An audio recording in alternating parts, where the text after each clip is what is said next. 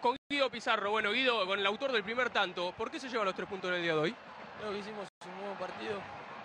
Creo que el segundo tiempo se sintió un poco el desgaste de los tres partidos de la semana, pero bueno, se hizo un partido casi perfecto, logramos los, tres los, los nueve de la semana, así que contento a descansar y, y a ver lo que queda, las tres finales que quedan.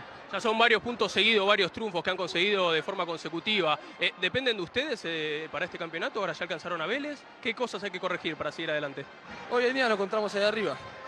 Ahora tenemos una final de local que creo que, que va a ser difícil como esta o más, así que a descansar y a prepararnos en la semana y, y corregir las pequeñas cosas que, que se hicieron mal. Éxitos y a disfrutar de este momento presente. Bueno, muchas gracias. Guido Pizarro.